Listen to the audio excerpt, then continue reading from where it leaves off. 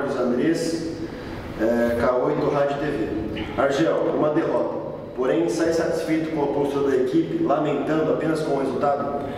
Não, primeiro tempo não, não conseguimos jogar uma boa partida. O adversário nos colocou em dificuldade. Não conseguimos sair, não conseguimos agredir muito o adversário. É, com o passar do, do, jogo, fomos se soltando um pouquinho. Né? É, a partir do momento que nós empatamos o jogo, daí nós começamos a entrar na partida. E o segundo tempo, pelo segundo tempo, né, a gente poderia ter buscado o resultado de empate, pelo que a, a equipe produziu no segundo tempo. Ah, quando estava 1 a 1 o Fabão teve uma chance clara para fazer o 2 a 1 Depois de nós tomar o 2 a 1 né, um lance meio duvidoso, né, parece que está impedido, não está, o VAR está ali para trabalhar. E tivemos um lance né, com o Edgar para poder fazer o um empate novamente 2 a 2 Depois tivemos um lance claríssimo com, com o Richard, também para fazer o 2 a 2 ah, Então, a gente lamenta pelo segundo tempo. Segundo tempo a equipe é, fez uma, uma belíssima partida. Né, o resultado não condiz o que foi o jogo, principalmente no segundo tempo, mas não dá para a gente lamentar muito não. É um jogo difícil, um jogo complicado aqui contra o, contra o Mirassol. O Mirassol vem trabalhando já dois, três anos junto aí com uma base montada, mas, mas gostei muito da postura do time, principalmente no, no segundo tempo. Fizemos gol de bola parada, a gente trabalha muito escanteio, um grande gol do Neto. Poderíamos né, ter feito 2 a 1 um com, com o Fabão. Né, do modo geral, gostei muito do segundo tempo. Ah, agora é, é, recuperar todo mundo e se preparar para a decisão que nós temos aí domingo contra o, o São Caetano. Pergunta agora do Jorge Vinícius, da TV Tati. Argel, por favor, fale sobre a arbitragem e principalmente sobre o pênalti marcado contra o Botafogo. Ah, eu não tenho nada para falar sobre a arbitragem.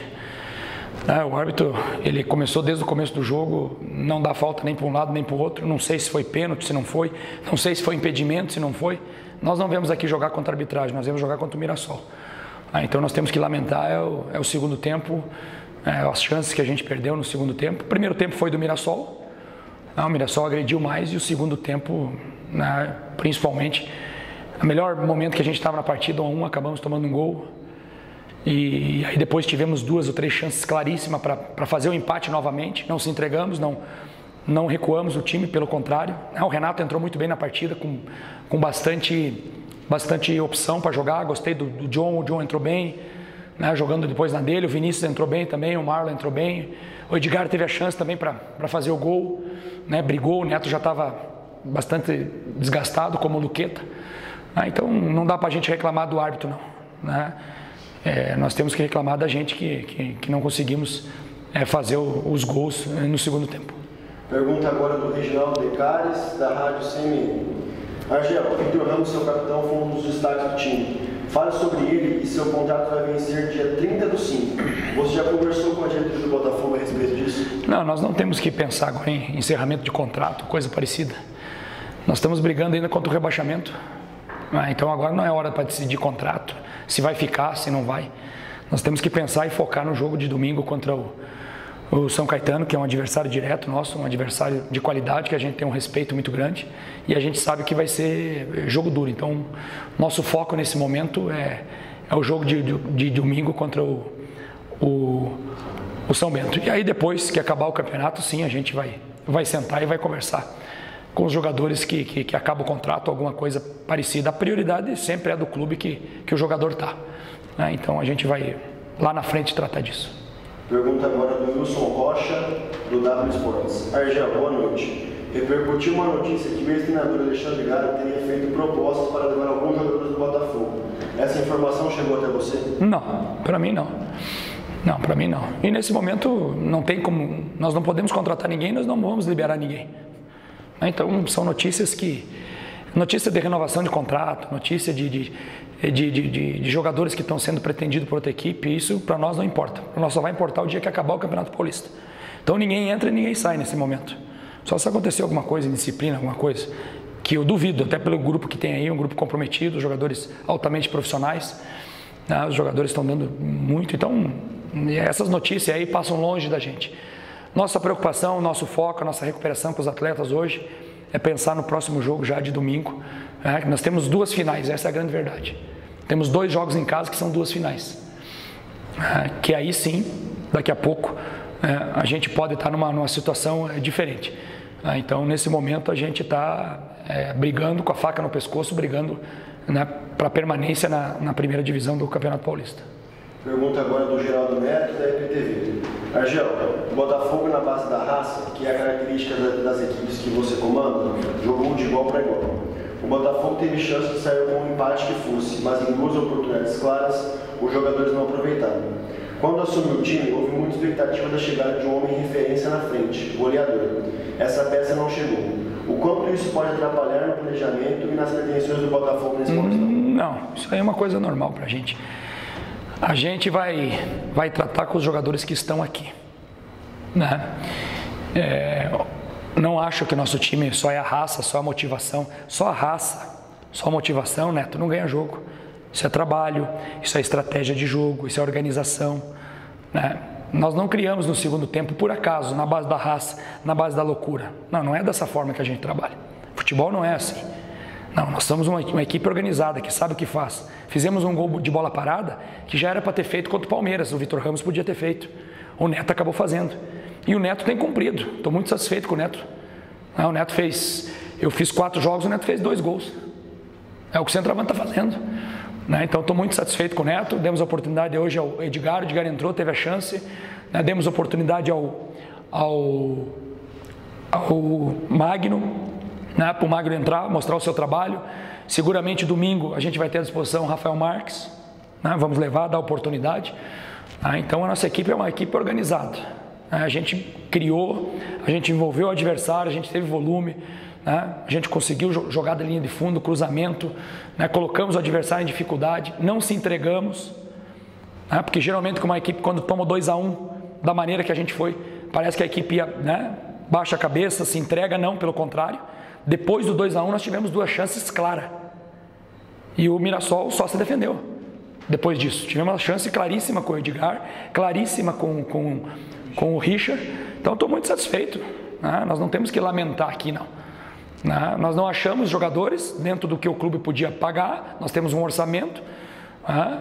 e, e, cabe a mim é, resgatar esses jogadores. Nós estamos resgatando. Né? O Neto não fazia gol, agora já fez dois. Hoje fez um grande gol na cabeçada, coisa mais linda. Ah, então vamos recuperar todo mundo. A confiança é total nesses jogadores aí e se preparar para o jogo de, de domingo.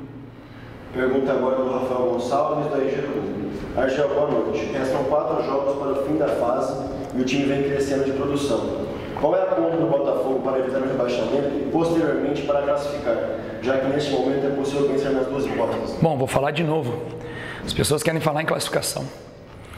A gente não fala aqui internamente em classificação. Nós temos que entender que há quatro jogos atrás nós era a lanterna, a pior defesa do campeonato. Ninguém acreditava no Botafogo. Então esses jogadores deram a volta por cima, trabalharam, assimilaram. Né? Nós organizamos o time, demos um padrão à equipe. Né? Hoje nós colocamos um jogador, coloca outro, né? o, o, jogador entra bem, nós colocamos um sistema de jogo. Hoje nós jogamos no 4-3-3, depois voltamos para o 4-2-3-1, os jogadores assimilam. É? Então nós não podemos pensar, nós nunca pensamos na, na classificação. É? Nós precisamos fazer 11 pontos. Então nós não podemos pensar nos quatro jogos, não. O nosso foco é o jogo do São Caetano. Esse é um jogo que vale seis pontos para a gente, certo? Depois nós vamos pensar no, no São Bento. Então, primeiro, esse jogo é exclusivamente para a gente é, buscar dar um passo a mais na nossa salvação no campeonato. Nunca a gente falou em, em classificação. Não, nós estamos com o pé bem assento no chão, com humildade, com seriedade, fazendo nosso trabalho, sabendo a dificuldade que é o Campeonato Paulista. Né? A gente sabe que o Campeonato Paulista é muito difícil, então nós temos que pensar jogo a jogo. E esse próximo jogo é, é um jogo decisivo, um jogo de seis pontos que a gente tem aí contra o, contra o São Caetano, que é uma boa equipe, uma equipe perigosa. Né? Empatou o último jogo jogando com um jogador a menos, na casa do São Bento. Ah, então, a gente sabe que é um jogo duríssimo aí que nós temos no domingo. E a pensar nesse jogo de domingo, pensando jogo a jogo. A última pergunta agora, professor, é do Neto do Clube Esporte. Argel, quando começa a atrapalhar seu elenco essa sequência de jogos desde a retomada? Já tem algum plano de começar a alterar a formação que você tem mantido nos jogos em função de fadiga muscular? Não, não. Nós não vamos poupar ninguém. Nós não podemos dar o luxo de poupar um jogador. Não. Nós temos que ir no limite agora. Né? E se tiver uma lesão, paciência, faz parte do futebol, são ossos do ofício, aconteceu, a gente ficou triste com o Dudu, perdemos um jogador importante, mas acontece. É, pode acontecer uma lesão muscular, pode acontecer uma lesão de trauma, pode ter um cartão amarelo. É, então, nós temos o grupo, nós vamos usar o grupo. É, então, os jogadores têm aguentado bem o ritmo, o time tem jogado muito, tem corrido numa intensidade muito alta. Hoje, novamente, a equipe correu muito, novamente deve ter batido aí 10 km de volume. Então, isso nos deixa feliz. Agora é recuperar todo mundo e, me e mexer o mínimo possível na equipe. A gente vai mexer na equipe é, se você tiver um cartão, tiver uma lesão, é uma estratégia de jogo. Né? Agora não, agora nós jogamos dentro de casa, né? nós vamos precisar se expor um pouquinho mais, vamos ter que colocar uma equipe um pouco mais, mais técnica. Né? Hoje nós mudamos um pouco.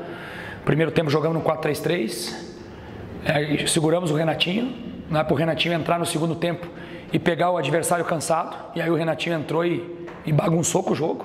O Renatinho entrou muito bem na partida né? deu dinâmica, apareceu, deu passe para gol, chegou, bateu falta, bateu escanteio, né? Foi todo aquele Renatinho que a gente que a gente espera, que a gente gosta, né? Então agora nós vamos traçar uma estratégia aí, mas não vamos poupar ninguém, não, não. Nós temos que, que jogar com o que a gente tem de melhor nesse jogo aí de, de, de, é, de domingo. Né? É, oxalá que a gente tenha de volta aí o, o Rafael Marques, que é mais uma opção de frente, ah, não precisamos usar tudo as armas que a gente tem.